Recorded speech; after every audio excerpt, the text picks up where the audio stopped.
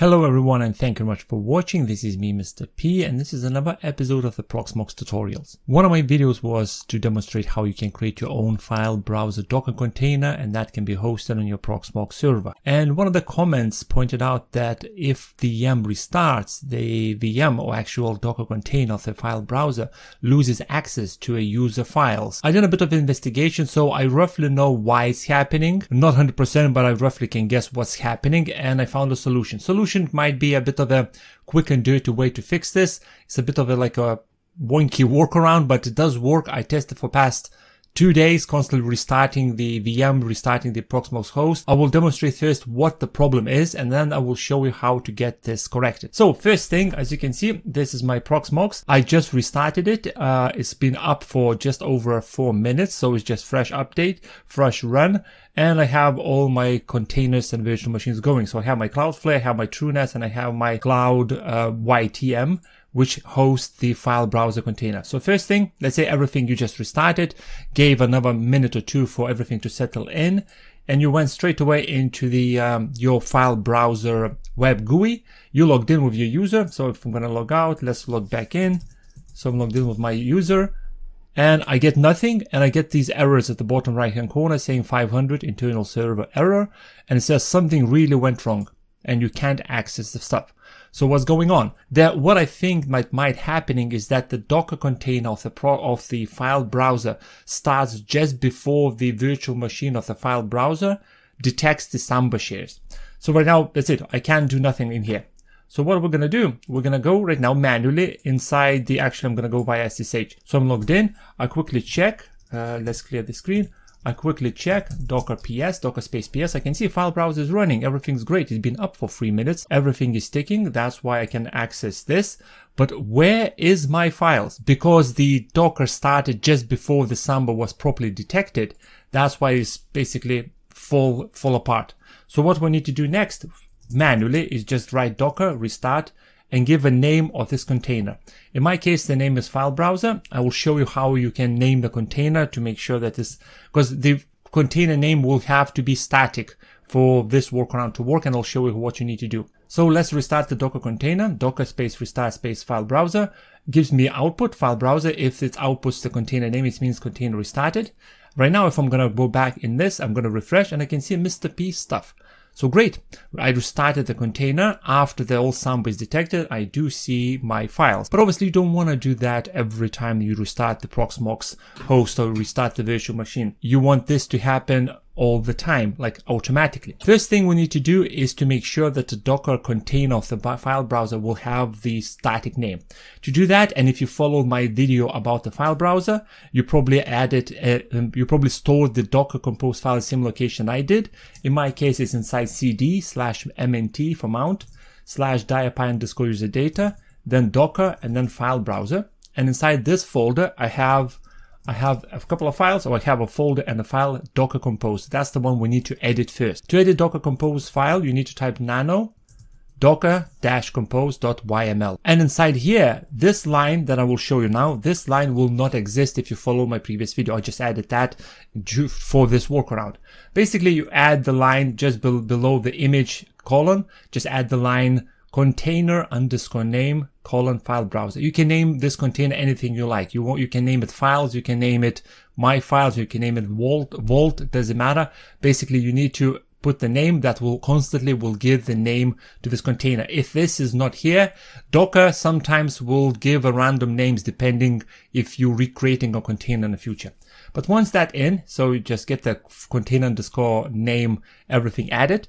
To say that, you need to press Control X to close, Y to accept that you want to save the file and enter to confirm.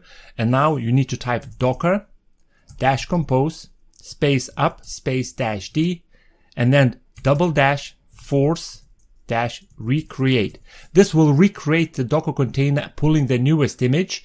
All the files, all your Docker, all the file browser container settings, settings will be untagged because they're stored inside the config folder. So you just write this docker dash compose space up space dash d space dash dash force recreate, press enter. And it's just gonna run quickly, check if the image for file browser is most recent and do everything recreate. So once that's recreated, we can go back in here, click refresh. I still see my stuff. Great. And if I will write right now docker space ps, I can see the container has been up for 14 seconds and I can see the file browser name at the end. It's just the, the way the, the formatting inside the terminal is, is a bit iffy, but it says file browser at the end. Okay, so our Docker container has a proper name. Now we can go and start creating this workaround. DietPi has a very very useful feature for this kind of thing, which is called DietPi Auto Start.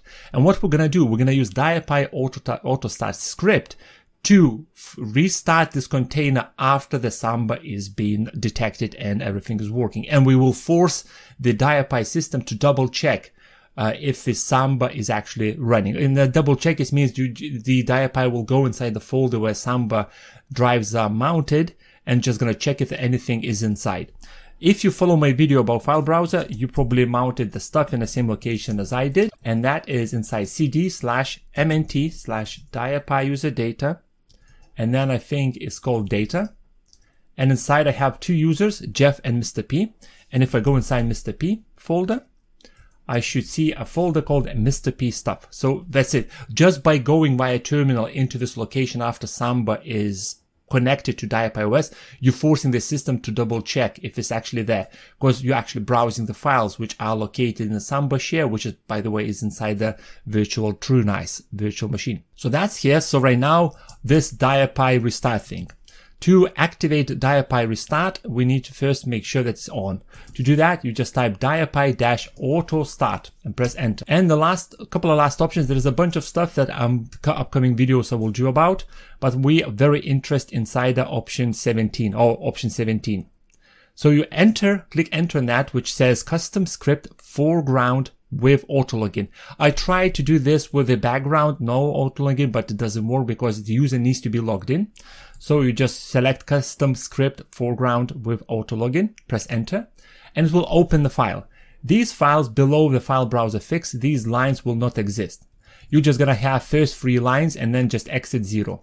So uh, below the, these three lines, you can type whatever you want in here. I've just made a comment saying file browser fix, and I'm just gonna comment this and that's it. So what is doing this small three line script is gives free set 30 seconds timeout. So when virtual machine starts, before anything is being done with this script is adds 30 seconds on top. So during these 30 seconds, the DietPi will go and connect the Samba shares and will start the Docker container.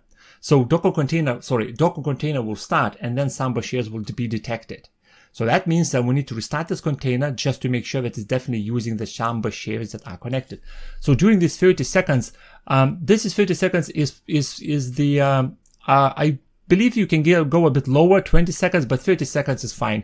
Restarting the Proxmox with a bunch of virtual machines and containers will take time. My main Proxmox server takes about five minutes to shut down and about four minutes, three and a half minutes to start up. So 30 seconds in this time span of 5 minutes is nothing. So 30 seconds, give 30 seconds, and there is a command called du space dash sh and then the location where the folder's located. So it goes inside the data and asterisk means scan everything. So what that does is that du is basically disk usage. So it checks disk usage and then dash sh is just basically gives a nice numbers instead of going and giving you output of each file located below data. It just contains everything in the root folders and it'll show you how everything is happening. So you just tell the system, you go into this folder and check every, give me a storage unit or how much storage everything below data basically holds. So that means that the system will have to go inside the Jeff's folder and check how, how much storage that takes and then go in my own folder, Mr. P folder and check how much storage that takes. And after this is done, just go and docker restart file browser. And this is why we make sure that a container has a static name because uh, this script otherwise will, you will have to change the file browser name to anything that Docker creates in the future. So I'm just telling, okay, after you, after 30 seconds timeout, just give me output of the storage, how much storage is being used with everything inside the data folder and then restart this. So I'm just gonna go press X to close, Y to save, enter to confirm. And now it's asking me which user you want automatically log into a system before the script runs. and I want to run this in the root. So I just make sure that root is selected and press enter and exit. And that is it. So right now we're going to go back inside the port inside the Proxmox uh, GUI. And this is the actual VM right now in here. So what we're going to do, we're just going to make sure that it's actually active. Yes, I can control this. So let's clear this line. I'm just to write reboot. So I'm, I'm, instructing the virtual machine to basically reboot itself. So virtual machine is reboots and we're to see what's to happen with this script. So Proxmox restarts this virtual machine. The DietPi OS starts starting DietPi auto starts custom script. So right now 30 seconds is ticking. So while this is happening, meanwhile, the Docker is being started and a Samba, Samba share is being connected. So this is, this is in progress for 30 seconds. And here we go, script finished. So we can go over this. System started, 30 seconds timeout happened. And then after 30 seconds, the du space sh went and gave me an output for Jeff's folder, which is takes only like empty. And then Mr. P folder is 1.2 megabytes. After that, the file browser restarted and that's it.